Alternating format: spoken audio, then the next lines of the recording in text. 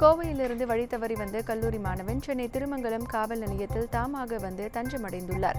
கோவை நேரு கல்லூரியில் ஏரோநாட்டிக்கல் பொறியியல் படிப்பில் இரண்டாம் வருடம் படித்து வரும் இவர் அடிக்கடி சுய நினைவு இழப்பு ஏற்படுவதாகவும் இதையடுத்து மதுரையில் உள்ள தனது வீட்டிற்கு செல்ல வழி தெரியாமல் கடந்த இருபத்தி மூன்றாம் தேதி முதல் சுற்றி தற்போது காவல்துறை உதவியை நாடியுள்ளதாகவும் தெரிவித்துள்ளார். இதையடுத்து மதுரையில் உள்ள மாணவரின் குடும்பத்தினருக்கு தகவல் தெரிவிக்கப்பட்டுள்ளது. தமிழகத்திற்கு தண்ணீர் தருவதுதான் தனது முதல் பணி என மத்திய அமைச்சர் நிதின் கட்கரி தெரிவித்துள்ளார்.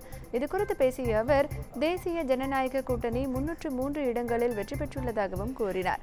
தமிழகத்திற்கு தண்ணீர் தர காவிரி கோதாவரி இணைப்பை கொண்டு வருவதே தனது முதல் பணி என்று அவர் தெரிவித்துள்ளார். ஈரோடு ஆர்கேவி ரோட்டிலிருந்து காவிரி ரோட் செல்வதற்காக வந்த கார் ஒன்று கட்டுப்பாட்டை இழந்து தனியார் நகைக்கடை காவலாளி மீது மோதி விபத்துக்குள்ளானது. இதில் காவலாளி ராஜலிங்கம் உயிரிழந்தார்.